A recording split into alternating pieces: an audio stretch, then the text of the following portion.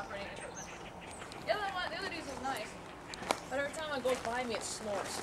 It never fails. Something about where the with the compressors go off and it always snorts at me. This one, I always had a thing for cute critter engines.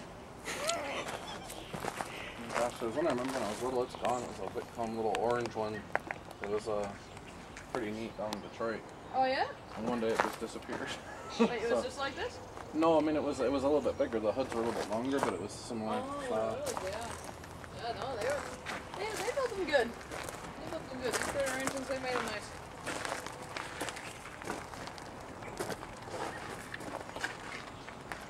This tie have seen better days. Yeah, I think they've been uh, using this old car for, if not storage, then they've for sure been using it to help take the uh, roof off the new building that they're working on. You ever found date nails in a tie? I've never done that. I know that.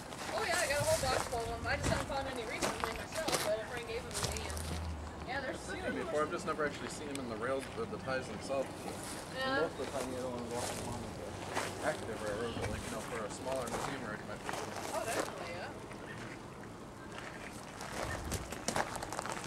Not too bad. Good fall. Just to clear up by one where we're going in Grand Haven. Oh yeah. Be done, no more rain for the day. Oh yeah, I I usually have all my, my gear with me, but today was kind of a quick side trip. I had to do a little clearing of the head, and this is where I like to go to clear it. there. Yeah, I usually bring my gear though, and that has a poncho in it.